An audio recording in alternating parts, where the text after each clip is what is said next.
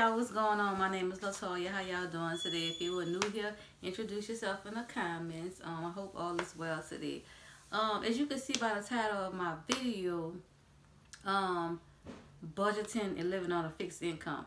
So I really think the only way you can really budget if you only make a certain amount of money each month of money that you you know bringing in. I don't think you can live off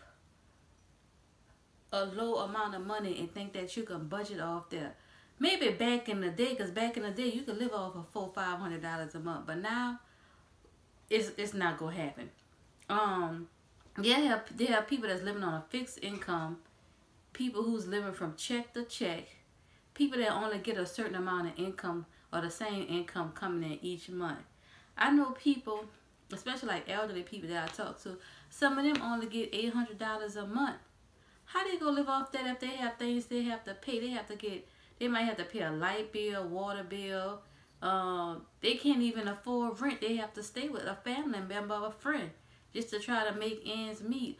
Also, um, food, if they have to pay for medicine, if they don't have um, health insurance. Um, I was in a store the other day, and you know the 32 ounce of um mayonnaise, Hellmann's mayonnaise. I'm saying mayonnaise because I'm from New Orleans. I know people say mayo, mayonnaise, but I say mayonnaise.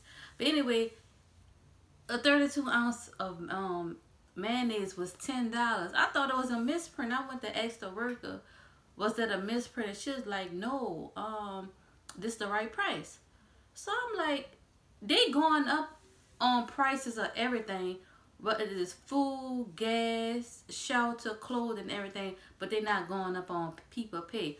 Why is that? We need to do something about this because this is getting out of hand, and people, uh, they getting depressed. They have anxiety because they can't pay their bills because they don't have enough money. People is turning to robbing and stealing because they don't have the money to make ends meet to buy the things that they need to to provide for their family. What do you think we can do, you know, to make things better for people and, and help them, you know, the people that's like on a fixed income and stuff. Because they, they need help. They really do. Because it's just it's just getting to be too much for people. You know, they, they committing suicide and stuff and it just it's just a lot.